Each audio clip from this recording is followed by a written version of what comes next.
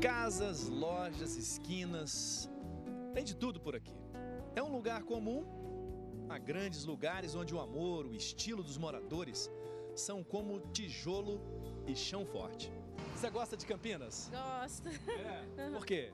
Ah, porque tem muitos comércios, né? Tudo que a gente quer, a gente precisa, a gente vem aqui e acha de tudo. O que você mais gosta aqui em Campinas, além do comércio? Ah, a população é, são tudo legal, não tem. Pra mim não tem diferença É não. um povo diferente, o povo de Campinas? É meio, meio diferente.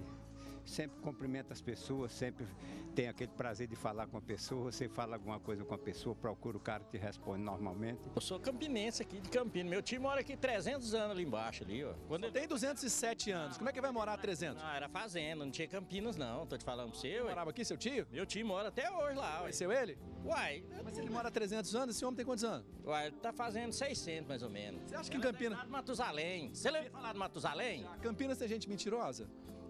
Pouco. Um pouquinho, é. A poeta Cora Coralina não é aqui de Campinas, é da cidade de Goiás, mas ela fez alguns versos que traduzem bem este bicentenário e mais sete anos desse lugar. Ela fala que as pessoas têm que renovar a personalidade todos os dias. É como se despedaçasse de dentro da gente o que é velho e morto. E continua dizendo: é preciso resistir, pois lutar é palavra que levanta os fracos e determina os fortes. Pois o comércio se renova, as gerações se alternam e os fortes seguem por essas ruas. O que, que Campinas tem de mais charmosa, na sua opinião? Eu acho que as praças. Que tem muita praça assim para você parar, para você tomar um lanche assim, se você quiser. Não precisa separar em alguma loja. Se você quiser comprar um lanche e tomar lá na praça, você pode. O dentista Vanderlan está por aqui há 55 anos, no mesmo consultório. Campinas faz 207 anos, Vanderlan. Sete anos. Como é que é ter crescido profissionalmente aqui nessa região? Não é só profissionalmente, eu vivi minha infância aqui, eu nasci em Campinas. Eu sou de 1937, então eu tô com mais de 80 anos. Nasci em Campinas, namorei em Campinas, tinha o Cine Campinas.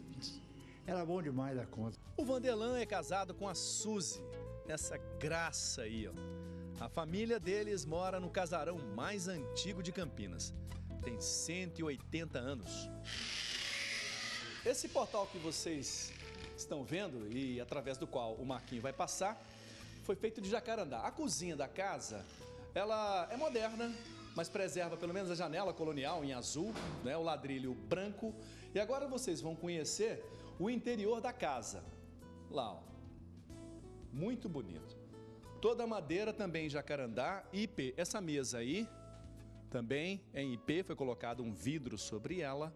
E essa mesinha aí, cor chumbo ou azul, como queira, ela foi preservada. Qual o prazer de morar nesse casarão? Porque a gente vê lá fora e fica imaginando que morar aqui deve ser um sonho, né? É. Bem no centro de É uma Campinas. chácara, deixei de ir até na chácara. É, porque há um quintal lá, vocês vão ver as imagens aí, tem galinha, não tem? Tem galinha, tem parreira. Tem uma cajamanga linda. Nossa, se vocês souberem o tamanho desse cajamanga, vocês não acreditam. É. A gente acredita porque eu tô vendo a imagem agora, vocês também. Olha o tamanho disso, olha. Parece uma mão, não parece? Uma laranja, a cajamanga? É. Suzy, me conta uma coisa. Eu fico imaginando uma casa dessa assim, 180 anos, antiga, É. foi reformada, né, de madeira. Tudo daqui. Fantasma, não tem não? Não. Não é difícil notar que Campinas anda precisando de cuidados. O coreto tá desse jeito aí. ó. A biblioteca da Praça Joaquim Lúcio guarda obras inclusive de Cora Coralina e não tem o seu acervo renovado há mais de 10 anos. A biblioteca municipal funciona neste prédio do Palace Hotel desde 29 de junho do ano 2000, portanto são 17 anos, mas os corredores e as prateleiras, a gente vê alguns vãos vazios, mostram que há uma defasagem muito grande, principalmente nesse setor aqui, que são de livros didáticos. A internet, as redes sociais, enfim, a tecnologia fez com que as pessoas buscassem informações nessas redes e a biblioteca ficou vazia. A Elaine, que é a diretora da biblioteca, estava me falando isso, mas na verdade, a última compra que foi feita de obras aqui para a biblioteca foi em que ano, Elaine? Fora os livros do vestibular que são anualmente, né? A última compra assim que teve foi em 2000. Então tá defasado um pouquinho. Bastante. Os carros se apertam nas ruas estreitas, enquanto o Parque Campininha das Flores se alarga no seu verde, banquinhos. É bonito, mas podia ser bem mais. Mas Campinas segue forte, principalmente na economia. Dizem que de cada 10 reais que circula pela capital, 5 reais saíram daqui. A gente fala que é um shopping a céu aberto, porque nós temos ruas segmentadas, então é um bairro que é fácil de andar, de circular. Se você quer é, produtos de festa, atacado, nós temos o polo do, do atacado. Se você quer aviamentos, nós temos o nosso polo de aviamentos e malhas, né? É, se você quer produtos de festa, é, aluguéis de roupas de noivas, nós temos. Campininha, 207 anos. O que vai ser daqui para frente?